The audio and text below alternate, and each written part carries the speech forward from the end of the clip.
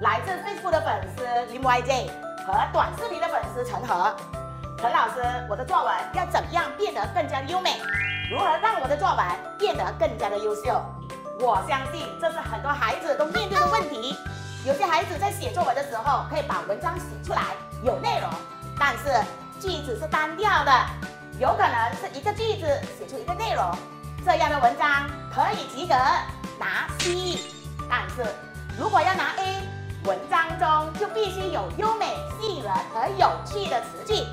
那要怎样写出一篇优美的作文呢？很多人都有一个误区，那就是认为背作文、背优美句子就可以把作文写好。这个方法不是不好，只是我们能够有多少的能力来背作文、背优美的句子呢？我们到底要背多少篇的作文和句子呢？要文章写得优美，最重要的还是阅读。从阅读中感受作者。是以什么写作方法来表达文章中的内容思想。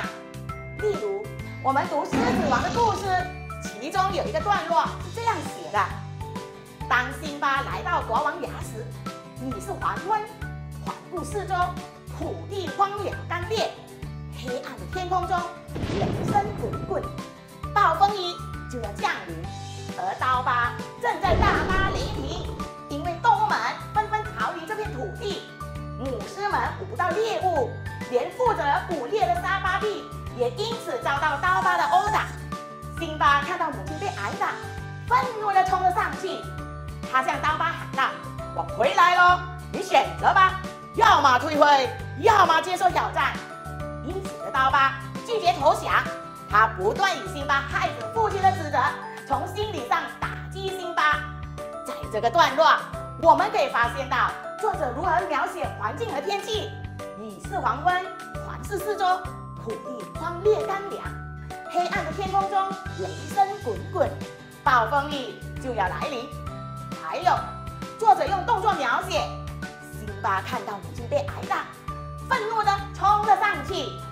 语言描写和关联词语，他向刀疤喊道：“我回来了，你选择吧，要么退位，要么接受挑战。”进行书写，各位，这些句子优美吗？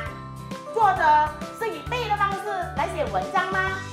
作者是从摘录词句中找出好词好句来写文章吗？答案不是，很明显的，作者是以写作技巧和方法来写文章。写作文是有技巧、有方法的。